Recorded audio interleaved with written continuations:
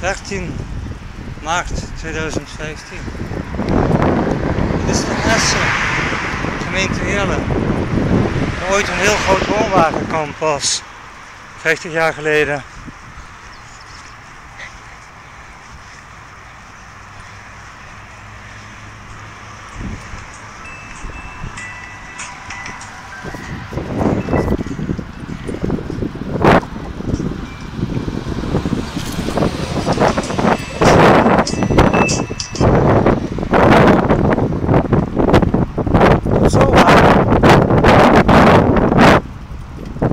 Ja, tegenwind.